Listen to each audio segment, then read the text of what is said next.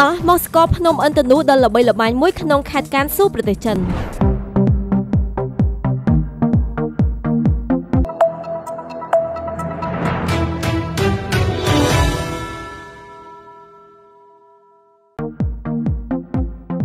ភ្នំដែលទទួលបាននូវការចាប់អារម្មណ៍ខ្លាំងនិងជាទីតាំងភូមិសាស្ត្រដ៏សំខាន់ដែលត្រូវបានគេស្គាល់ថាភ្នំអិនតនូគឺកំពុងតែមានវត្តមាននៅក្នុងប្រទេសចិន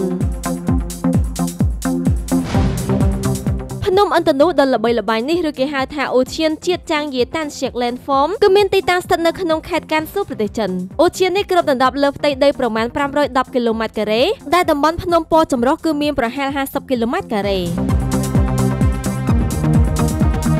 អ្វីដែលកាន់តែគួរចាប់អារម្មណ៍ខ្លាំងបំផុតនៃភ្នំនេះព្រោះថាទីតាំងរបស់វាគឺជាជម្រកនៃថ្មភក់និងរ៉ែជាច្រើនប្រភេទដុះតាំងពីកកាត់ភពផែនដីមកម្ល៉េះការធ្វើអុកស៊ីតកម្មរវាងអុកស៊ីហ្សែននិងទឹកចំនួនអស់រយៈពេលរាប់លានឆ្នាំកន្លងមកគឺបានធ្វើឲ្យថ្មភក់និងរ៉ែនៅទីនោះផ្លាស់ប្ដូររូបរាងនិងពណ៌ចម្រុះបែបនេះការបង្ហាញដ៏អស្ចារ្យនៃឆ្នូតចម្រុះពណ៌រួមមានទាំងពណ៌ក្រហមពណ៌ទឹកក្រូចលឿងបៃតងនិងខៀវគឺបានធ្វើឲ្យភ្នំនេះមានរូបរាងដ៏ចម្លែកពិសេសក៏ដូចជាស្រស់ស្អាតបំផុតលើពិភពលោក